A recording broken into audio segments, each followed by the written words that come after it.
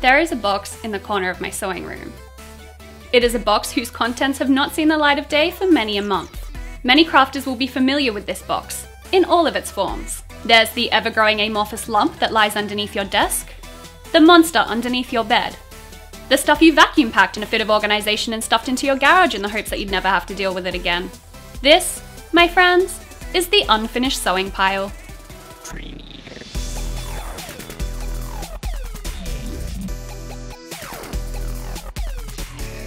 So this is the item that I pulled out of the box and that I'm going to work on for this episode. This is a really lovely strapless blue gingham dress. The problem, however, is the strapless part. When I attempt to wear it, it falls down. So I want to add straps. More specifically, tie up halter neck straps. The first thing that I do is to measure roughly how wide I want the straps to be at the top of the sweetheart neckline. I want them to be about 3 inches wide and then to taper off and get thinner as the straps reach my shoulder.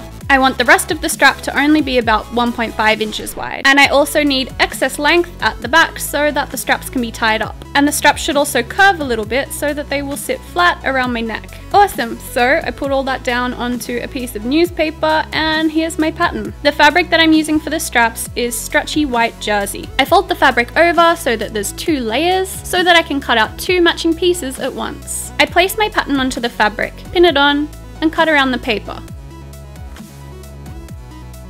Then I flip the pattern over and I repeat this. So I've ended up with four pieces of fabric, each pair sandwiched together like this, and I'm going to then sew them together just like this. I'm making sure that I leave a gap in my stitching at both the top and the bottom. To sew them together, I'm using a zigzag stitch because I'm working with stretchy fabric. I'm also using a walking foot attachment to help the seam lay flat.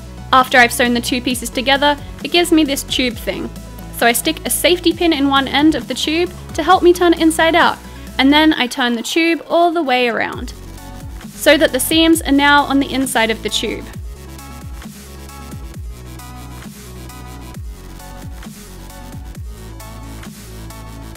Then I simply sew the gaps closed by sewing over the top of them. For this smaller end, that I left completely open, I fold the excess fabric inside it about half an inch and then sew over the top. Once I've done that, I attach the straps to the dress where I want them to sit, pin them on, and sew carefully over the top here using a really small straight stitch.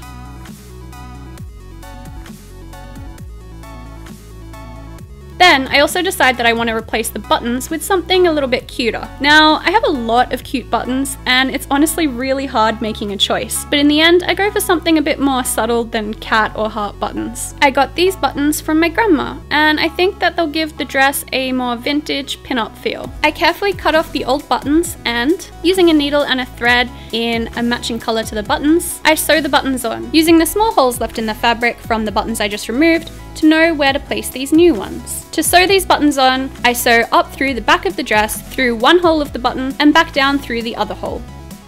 I repeat this a couple of times. Then with the thread at the back of the dress, I tie a knot and cut off the excess thread. And here is my new and improved dress. I think that the new halter straps go really well with this style of dress, and it also has the added bonus of not falling off when I try to wear it. So that's good. Here's the tie-up straps in action. 10 inches extra seem to be about the perfect length to allow me to tie a messy bow at the back. And yeah, there we have it. Thanks for watching, and I'll see you all next time.